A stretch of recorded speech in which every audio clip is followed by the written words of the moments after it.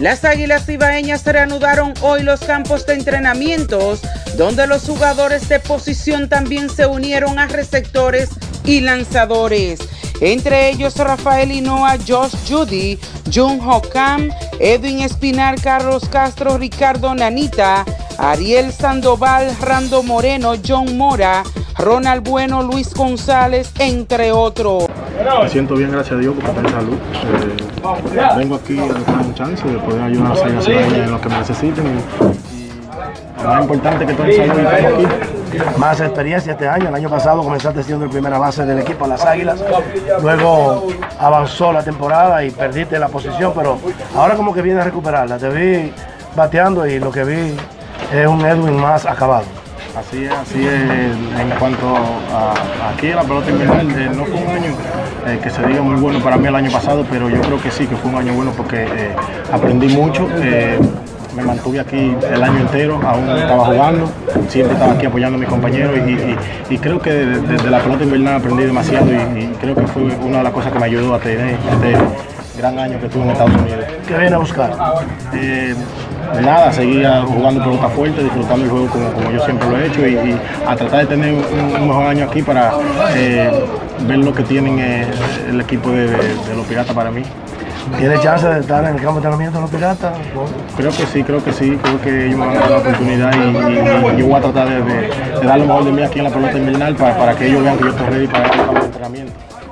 Los gigantes del Cibao abrieron su campo de entrenamientos en el día de hoy y contaron con jugadores como el primer pick del draft José Sirí, Carlos Frías, Adrián Salcedo, Jorge de Paula, Rosel Herrera, Hanley Marte, entre otros.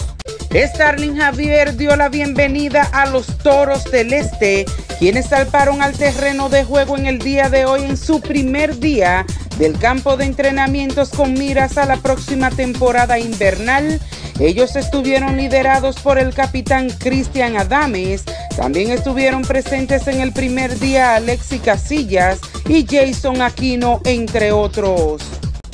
Los Tigres del Licey continuaron con sus entrenamientos y hoy recibieron a Francisco Rosario, Anderson Hernández, Juan Francisco, Angel Betre, Diori Hernández, Wander Suero, Smith Roger, entre otros. Aaron Josh conectó su cuadrangular 49 y 50 de la temporada este lunes contra los Reales, rompiendo la marca para un novato en una zafra de grandes ligas implantada por Mark Maguire en el año 1997. Ahora tiene siete cuadrangulares en sus últimos siete partidos y el 13 en septiembre, la mayor cantidad para él en un mes en esta sensacional primera temporada completa suya en las mayores.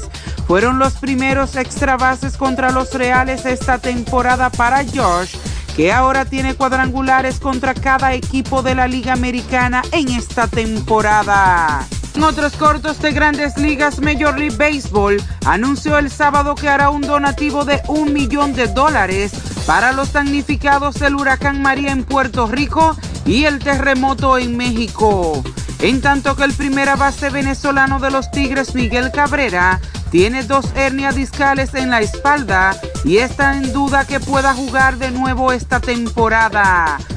Bryce Harper se reintegrará a la alineación de los nacionales de Washington este lunes, según un informe del diario Washington Post el domingo. Desde la ciudad de Nueva York, para el programa Buena Noche por Teleuniverso Canal 29, Pa' que te enteres con Raquel Infante.